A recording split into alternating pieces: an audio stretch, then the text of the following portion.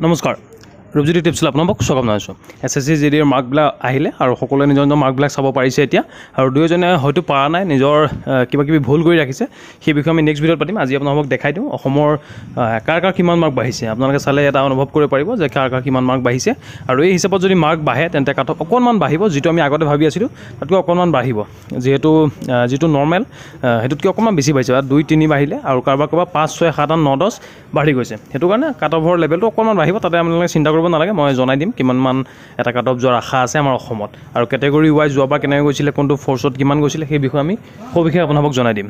আৰু এইবাৰ যিহেতু নিগেটিভ মাৰ্কিং আছিলে সেইটো কাৰণে যোৱাবাৰৰ নিচিনা নহয়। এইবাৰ অকণমান কাট অফ কম যাব যোৱাবাৰতকৈ। নিগেটিভ মাৰ্কিং থকাৰ কাৰণে যথেষ্ট লোকৰ মাৰ্ক মাইনাছ হৈছিলে আৰু ফৰ্টি ফ'ৰ আছিলে ফিফটি ওৱান হৈছে। এইজনৰ খুব ধুনীয়া চান্স আছে যিহেতু তেওঁৰ মাৰ্ক প্ৰায় ছয়মান বাঢ়ি গৈছে। আৰু কাৰোবাৰ ছিক্সটি থ্ৰী হৈছে যাওক নৰ্মেলাইজেশ্যন হয় ছিক্সটি থ্ৰী হৈছে তেওঁৰ খুব ধুনীয়া চান্স আছে। আৰু ৰ মাৰ্ক থাৰ্টি ছিক্স আছিলে ফৰ্টি ওৱান হৈছে। আৰু থাৰ্টি টু পাইছোঁ মই জেনেৰেল ডিষ্ট্ৰিক্ট হয়।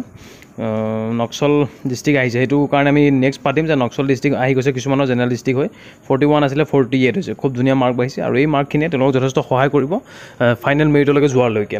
আৰু যিটো নৰ্মেলাইজেশ্যন হয় এইটো নৰ্মেলাইজেশ্যনটো আপোনালোকক ফৰ্মুলাটো মই দেখাই দিছিলোঁ কিটো হিচাপত তেওঁলোকে নৰ্মেলাইজেশ্যন কৰে। যিবিলাক চিফ্ট আছিলে সেইবিলাক একেই কৰি পেলাই ফৰ্টি ওৱান আছিলে ফৰ্টি নাইন হৈছে।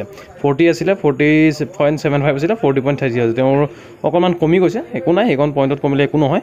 যদি আপোনাৰ আছে তেন্তে খুব ধুনীয়াকৈ হৈ যাব। কিন্তু পিছত কিন্তু এই পইণ্টটোৱে যথেষ্ট লোকক সহায় কৰে চাকৰি পোৱাৰ ক্ষেত্ৰত। সেইটো কাৰণে কেতিয়াবা পইণ্টটোও যথেষ্ট মেটাৰ কৰে। আৰু এই পইণ্টটো যেতিয়া কেতিয়া মেটাৰ কৰিব যদি আপোনাৰ টাই কেছ হৈ যায় কিছুমানৰ ধৰক সমান সমান মাৰ্ক থাকে এই পইণ্টকেইটাই তেওঁলোকক বঢ়াই দিয়ে। এতিয়া তেওঁৰো ফৰ্টি আছে এওঁৰো ফৰ্টি আছে। কিন্তু এই পইণ্ট থ্ৰী বেছি থাকিলে সেই পইণ্টটোৱে তেওঁক চাকৰি পোৱাত সহায় কৰিব। আৰু সেইটো কাৰণে যোৱাবাৰ যদি দুবাৰ যিহেতু নৰ্মেলাইজেশ্যন হৈছিলে দুবাৰ মাৰ্ক বাঢ়িছিলে কমিছিলে এইবাৰ যদি তেনেকুৱা হয় সকলোৰে চান্স আছে আকৌ এবাৰ মাৰ্ক বাঢ়া বা কমাৰ। সেইটো কাৰণে এইটোৱে যে ফাইনেল মাৰ্ক হ'ব তেনেকুৱা কনফাৰ্ম এতিয়ালৈকে ক'ব নোৱাৰি। যিটো এছ এছ চি বৰ্ডে যিটো সিদ্ধান্ত ল'ব সেইটোৱে হ'ব।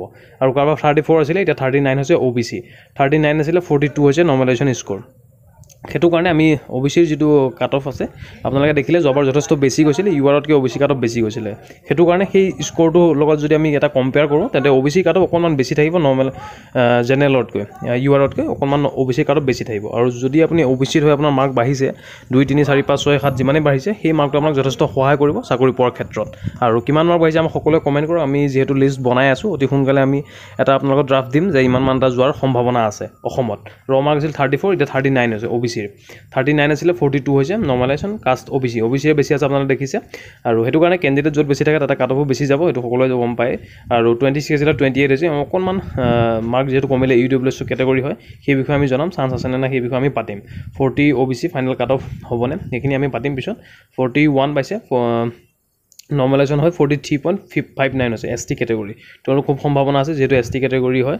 আৰু যিবিলাক কেটেগৰী ৱাইজ বা বৰ্ডাৰ ডিষ্ট্ৰিক্টৰ তেওঁলোকৰ থাকে তেওঁলোকৰ খুব সুবিধা থাকে। আমি বৰ্ডাৰ ডিষ্ট্ৰিক্টৰ কথাও পাতিম তেওঁলোকে কেনেকৈ সুবিধা পাব।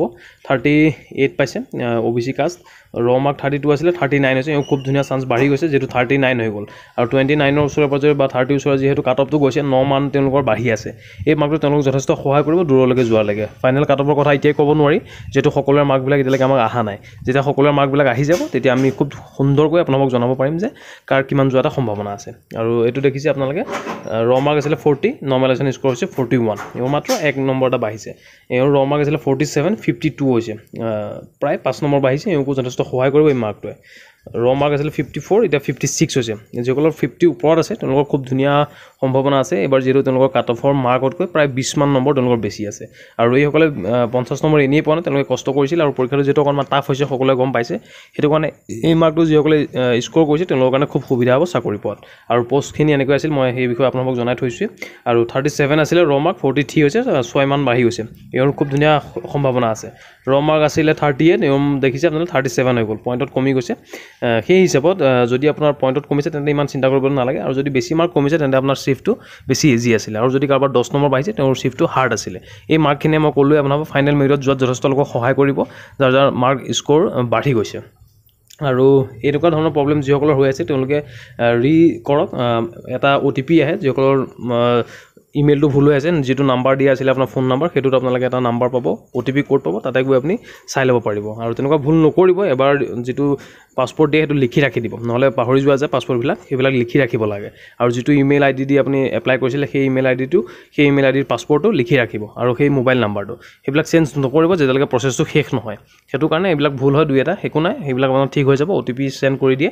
এনেকৈ যিসকলৰ প্ৰব্লেম হৈ আছে নিউ পাছপৰ্ট লগাই দিব কনফাৰ্ম পাছপৰ্ট কৰি দিব নতুন পাছপৰ্ট বনাই ৰাখিব। তাৰপিছত কোনো ধৰণৰ অসুবিধা নহয়। আৰু যিসকলৰ এনেকৈ নক্সল ডিষ্ট্ৰিক্ট কিবা ডিষ্ট্ৰিক্ট কিবা ডিষ্ট্ৰিক্ট ভুল হৈ আছে তেওঁলোকে পিছত কি অসুবিধাত পৰিব সেই বিষয়ে আমি নেক্সট পাতিম যে কিবা অসুবিধাৰ সন্মুখীন হ'ব নেকি তেওঁলোকে। আৰু সেইখিনি আমি ডিটেইল কথা পাতিব লাগিব একে এতিয়াই কৈ দিলে আপুনি বুজি নাপাব। আৰু সেইবিলাক ফৰ্ম ফিল আপ কৰোঁতে আপোনালোকে অকণমান সাৱধান হ'ব লাগে। আৰু যিসকলে দুহেজাৰ তেইছত এপ্লাই কৰিব তেওঁলোকক এই ভিডিঅ'টো শ্বেয়াৰ কৰি দিব তেওঁলোকে যাতে এনেকুৱা ধৰণৰ সৰু সুৰা ভুল নকৰে ফৰ্ম ফিল আপ কৰোঁতে। আৰু লগতে আমি নামবিলাক ভুল হৈ থকা সেই বিষয়েও পাতিম কেনেকৈ কি কাগজ তেওঁলোকে যোগাৰ কৰিব লাগিব। আজি ভিডিঅ'টো ইমানেই নেক্সট ভিডিঅ' অকণমান সময়ৰ পিছতে আপোনালোকে পাব। ভিডিঅ'টো চবেই ধন্যবাদ আপোনাৰ দিনটো শুভ হওক।